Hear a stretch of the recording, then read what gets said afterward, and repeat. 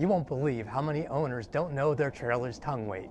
Your trailer's tongue weight needs to be 10 to 15% of overall trailer weight, and too much or too little can cause trailer sway or an overloaded tow vehicle.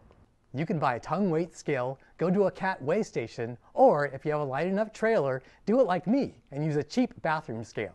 So all you gotta do is get some bricks, put said scale on the bricks, and then weigh your tongue. Manufacturers don't tell you the true weight of your trailer tongue, so be safe. Get your trailer tongue weighed today.